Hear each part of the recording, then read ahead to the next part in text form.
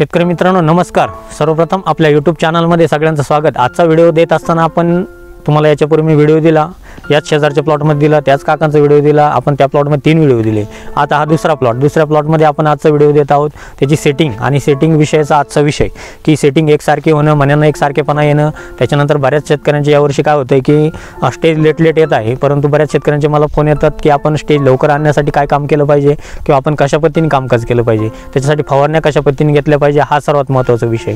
आणि ते नियोजन करत असताना आपण आजचे आजच्या व्हिडिओमध्ये मी सांगत आहे तुम्हाला की इथून पुढे जे प्लॉट सेटिंगला असतील किंवा याच्या आधी सेटिंग करताना काही गडबड झाली असेल आपल्याला मनांमध्ये व्हेरिएशन दिसत असेल तर याची कारणं काय असतात? किंवा कोणत्या घटकांची कमी जास्तपणा असतो आपण स्प्रे टाकत असताना आपण कोणत्या स्टेजला कशा पद्धतीने कामकाज केलं पाहिजे? त्याचं नियोजन आपण कशा पद्धतीने दिलं पाहिजे? याचा विषय आजचा सर्वात महत्त्वाचा.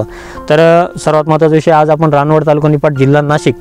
रवींद्र रावसाहेब वाघ बरोबर ना? अठ्ठ्याण्णव पन्नास पंचावन्न तेहतीस ऐंशी आपला फोन नंबर तुम्ही फोन करू शकता प्लॉट बघू शकता या ठिकाणी व्हिजिट देऊ शकता. तुम्हाला दोन्ही प्लॉटचे तुम्ही या ठिकाणी मी तुम्हाला व्हिडिओ देत आहे मागचा व्हिडिओ दिला याही व्हिडिओमध्ये मी सांगत आहे तुम्हाला की प्लॉटची साईज असेल शेंडा असेल त्याची गाडाची साईज असेल ही चांगल्या पद्धतीने मिळवायची हार्वेस्टिंगचा प्लॉट आहे व्यवस्थित पद्धतीने त्याला कामकाज आपण करून घेतलेलं आहे. जे स्प्रेइंग नियोजन आपण दिलं ते व्यवस्थित पद्धतीने त्या ठिकाणी झालं कुठेही तुम्हाला भुरीचा प्रादुर्भाव दिसत नाही आहे कुठं मिलीबग पण दिसत नाही आहे कुठली अडचण त्या ठिकाणी नाही मण्यावरती स्कॉर्चिंग वगैरे कुठली दिसत नाही. आणि सर्वात महत्त्वाचा विषय आपण सेटिंगसाठी जे स्प्रे घेतला. बरोबर? आपण सेटिंग स्प्रे टाळून घेतला एस एसने स्प्रे टाकला नाही किंवा चिमानी टाकला नाही. आपण डायरेक्ट डिपिंग केली त्याच्या अगोदर सेटिंग स्प्रे आपण आपल्या साध्या ट्रॅक्टरने टाकला. साध्या ट्रॅक्टरने बरोबर? तर आता काय काय घेतलं होतं आपण त्याच्यामध्ये? आपण दहा पीपीएम जे घेतला बरोबर. आणि इजी टेक घेतला. दोनशे लिटरला शंभर हा, बरोबर. या प्रमाणात घेऊन आपण उलटा पलटा स्प्रे करून घेतला. चिंब स्प्रे टाकला. हो. मण्याची साईज मोठी करून घेतली आणि मग आपण डिपिंग केली. नंतर डिपिंग केली. आता तुम्ही बघू शकता या ठिकाणी कुठल्याही मण्यामध्ये तुम्हाला व्हेरिएशन दिसणार नाही. सर्व गाडामधले मनी एकसारखे आहे. तुम्ही बघू शकता. मना गाडाची लवचिकता असेल तुम्हाला अतिशय सुंदर पद्धतीची लवचिकता या ठिकाणी दिसून येईल. प्रत्येक गाडामध्ये आणि अतिशय सुंदर पद्धतीचं कामकाज झाडा गाडाचा शेंडा तुम्ही बघू शकता. अतिशय सुंदर पद्धतीने झालेला आहे. तर शेतकरी मित्रांनो काय करा? नियोजन करत असताना आपण तुम्हाला मी सांगितलेलं आहे की स्प्रे देत असताना आपण कसा दिला पाहिजे? याच्यामध्ये तुम्हाला इजीटेक लक्षात घ्या. रिझल्ट आलेले रिझल्ट दाखवलेले, मिळालेले आपल्याला. म्हणून आपण व्हिडिओमध्ये सांगतोय. इजीटेक दोनशे लिटरला शंभर एम एल तुम्ही या प्रमाणात घ्यायचं आहे त्याच्यानंतर तुम्ही दहा पी पी एमनी जे घ्यायचा आहे उलटा पालटा स्प्रे करून घ्यायचा आहे सेटिंग आपण मनीची साईज मोठी करून घ्यायची. साधारण तीन ते चार एम एम मनी झाल्याच्यानंतर आपल्याला त्याच्यासाठी प्रोसेल आणि इझीटेकची परत. फवारणी करायची.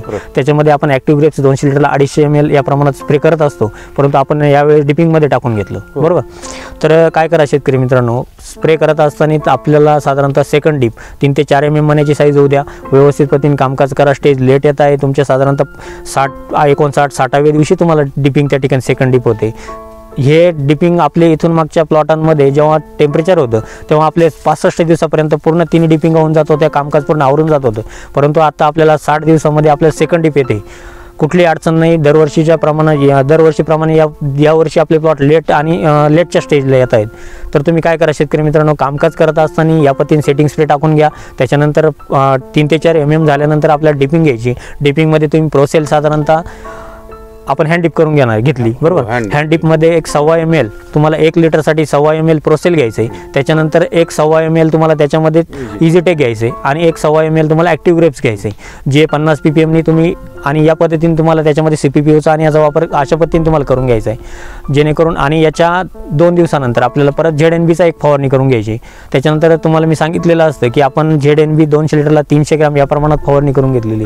तर शेतकरी मित्रांनो काय करा या पद्धतीने मी सेटिंग करून घ्या तुम्हाला चांगला प्लॉट येईल. याच्यानंतर याच प्लॉटमध्ये मी तुम्हाला पुढच्या स्टेजेसला साधारणतः आपली साईज ऐंशी ते नव्वद दिवसाच्या दरम्यान जसा त्या प्लॉटमध्ये तुम्हाला व्हिडिओ दिला त्याच पद्धतीने या प्लॉटमध्ये पण तुम्हाला व्हिडिओ देण्याचा प्रयत्न करीन. त्याच्यानंतर परत आपण हार्वेस्टिंगच्या वेळेस तुम्हाला परत एक व्हिडिओ देऊ.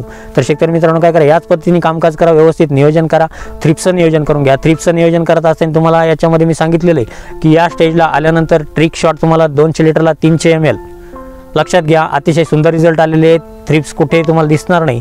दोनशे लिटरला तीनशे एम एल या प्रमाणात ट्रिक शॉट घ्यायचे. त्याच्यामध्ये बोरिक ॲसिड तुम्हाला शंभर ग्रॅम या प्रमाणात देऊन घ्यायचं. आहे जेणेकरून प्लॉटला अतिशय सुंदर रिझल्ट तुम्हाला बघायला मिळतील. तर शेतकरी मित्रांनो काय करा मी तुम्हाला याच्यानंतर परत व्हिडिओ देण्याचा प्रयत्न करेल. तुम्हाला पुढच्या स्टेजेसला बाकीच्या प्लॉटांमध्ये पण व्हिडिओ दिलेले. तुम्हाला जालना भाग असेल तिकडे व्हिडिओ दिलेले. तर शेतकरी मित्रांनो काय करा महाराष्ट्रातल्या प्रत्येक शेतकऱ्यापर्यंत ही व्हिडिओ पोहोचणं गरजेचं आहे. तर आपल्या चॅनल कोणी नवीन आला असेल तर सबस्क्राईब करून घ्या. शेअर करा लाईक करा जास्तीत जास्त शेतकऱ्यांपर्यंत पोहोचवा जेणेकरून प्रत्येक शेतकऱ्याला याची माहिती मिळाली त्या ठिकाणी मदत होईल. धन्यवाद.